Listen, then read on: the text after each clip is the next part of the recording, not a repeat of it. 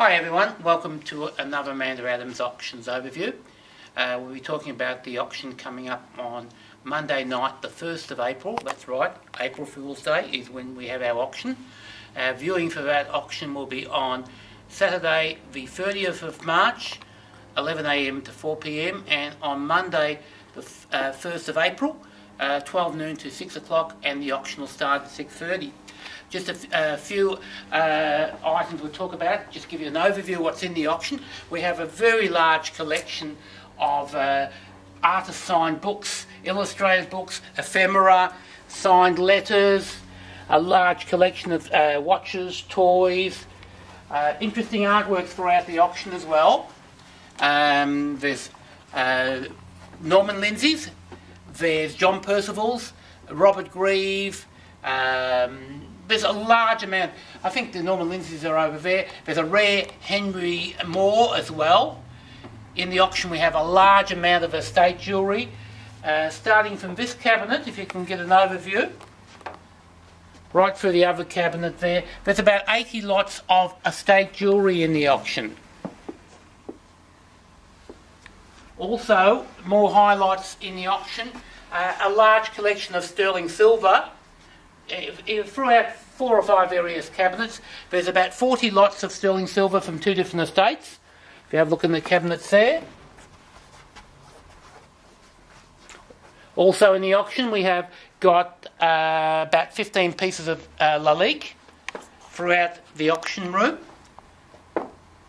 You have a look in the cabinet there, you can see some of the Lalique pieces, some of the estate jewellery down there as well. There's uh, some more pieces of rare Troika pottery uh, in these cabinets and some rare pieces of 60s uh, Bernard Rooke uh, pottery, also a famous English studio potter. Some of the artworks that I really like in the auction, of course, will be the Percevals, but you can scan through them. They're, that's X-rated. Don't have a look at that. Uh, Philip Davey. There's two early works from 1991. And if you scan behind you in the rooms, along on the wall here is one of our favourite works in the auction, a rare work, a 1952 work by Robert Grieve. And this is depicting Victoria Market. So it's obviously still holds as a Vic Market in 1952. And along here there's more works, uh, along here rare works here, um, just scan your way through, you can have a look. I'm holding a very interesting piece too in my hand when you've finished looking in that cabinet. A 1930s uh, Pilkington's Royal Lancastrian vase. Unusual design decorated with uh, lions as well. So circa, about, uh, circa 1930-32.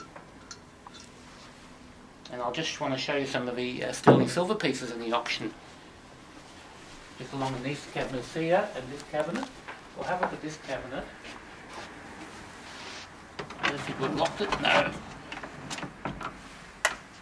It's a bit of Georgian sterling silver there.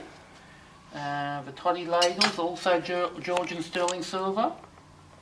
Some more Georgian pieces of sterling silver. There's Victorian sterling silver. As I said, there was 40 pieces of sterling silver from two various estates in the auction.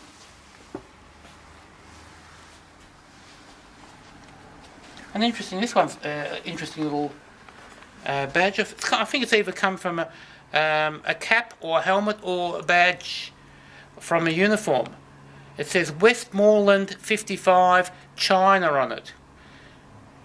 So all those medallion and medal collectors uh, we've got those for you. There's also some more boxed medallions from about 1885.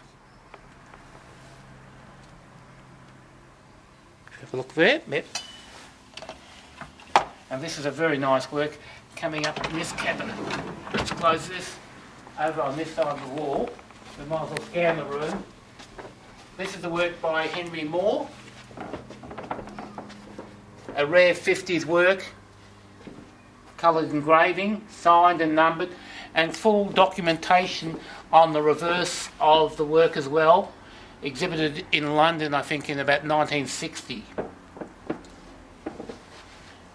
Another thing I have to show you, which I find really interesting,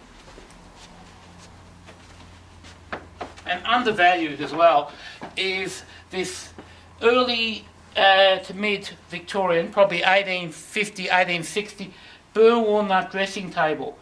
And look at the condition of it. It's been fully restored. It was purchased from Acorn Antiques about 25 years ago. And the estimate's very low. It's a great time to buy the, these sort of items at the, time, at the moment when, they, when they're quite, not quite fashionable as they used to be. We've got an estimate of six to eight hundred dollars on a piece that would have fetched five thousand dollars ten years ago. And there's also the matching wardrobe on the other side, if you can see that. That's got an estimate of two to three hundred for the burr walnut break front uh, wardrobe.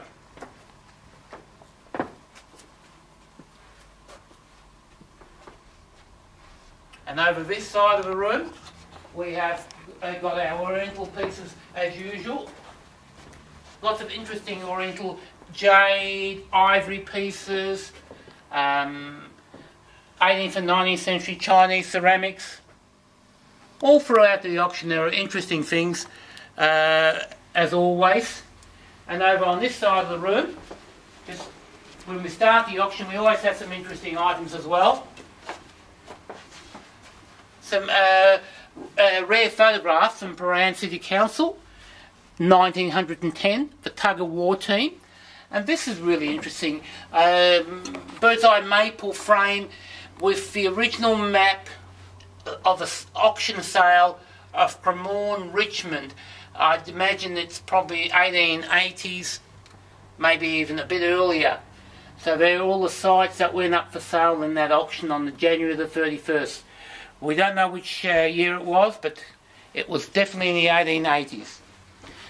Over on this side we have also a rare uh, retro or maybe late deco light fitting. This one's Italian, um, probably 19 late 30s or maybe uh, uh, straight after the war 40s. Stunning piece in lovely condition. Estimates 100 to 200 dollars. And over on this side we have to show you some more rare things. Uh, this one's fully working a 1927 uh, Ensign movie camera with the original case. And this belonged to an ex-mayor of Fitzroy. So excellent provenance in this one. Some more cameras over there as well. Let's see if we can put this back. Oh, this is a, a, another interesting thing. I'm not sure if uh, it's Amanda's favourite item, but I find it was quite unusual, very rare. 1960s uh, Go Go Girl drink mixer. And the original owner has had it fully restored and it's operational in working condition. So where are you going to find another one of those? Only at Amanda Addams Auctions. Okay, we'll finish up here. We'll just give you, we've given you a quick overview of what's in the auction. Um, our uh, viewing, of course, for the auction will be on uh, Saturday, the 30th of April, that's right, Easter Saturday, 11 to 4, um, and Monday, Easter Monday, or April Fool's Day, 1st of April, uh, viewing will be 12 noon to 6 p.m. and the auction will start at 6.30. The catalogue, the auction movie, uh, the photographs will all be on the website about a week before the auction, so have a look and hopefully you'll turn up for our auction. See you then. Bye.